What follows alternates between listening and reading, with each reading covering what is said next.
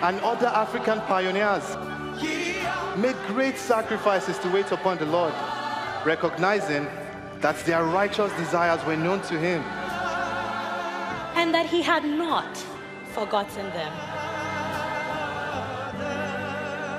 Differences in culture, language, gender, race, and nationality fade into insignificance as the faithful enter the covenant path. What was promised from the beginning did come to pass.